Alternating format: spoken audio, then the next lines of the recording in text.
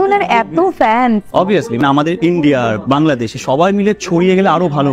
এবং তার সঙ্গে তার জন্য একটা কোলাবোরেশন করা এখানে ওয়াই নট মানে সত্যিই তো ভালো লাগবে মানে আনফর্চুনেটলি কোনোদিন আলাপ হয়নি ওনার সাথে বাট অবভিয়াসলি আলাপ হলে ভালো লাগবে। ইন্ডাস্ট্রি বাংলাদেশ আর এখনকার ইন্ডাস্ট্রি মিলিয়েই বলছি অনেকে একটু ছোট করে দেখে বাংলাদেশ এখানকার এই ইন্ডাস্ট্রি বাংলা ইন্ডাস্ট্রি ছোট করে দেখে।